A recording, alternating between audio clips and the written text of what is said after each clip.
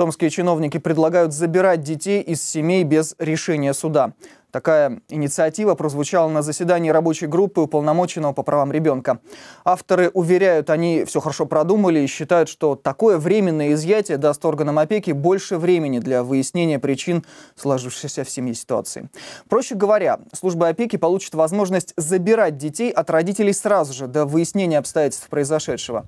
И делать это, не подавая одновременно в суд иск о лишении родительских прав. Сейчас же Семейный кодекс требует, чтобы на седьмой день после того, того, как ребенка забрали из семьи, этот вопрос уже рассматривался в суде. За такой короткий срок специалисты не успевают разобраться в ситуации. Томские чиновники считают, продление срока разбирательства индивидуально для каждого случая поможет сохранить семьи целыми. Предложение направлено в аппарат уполномоченного по правам ребенка при президенте России.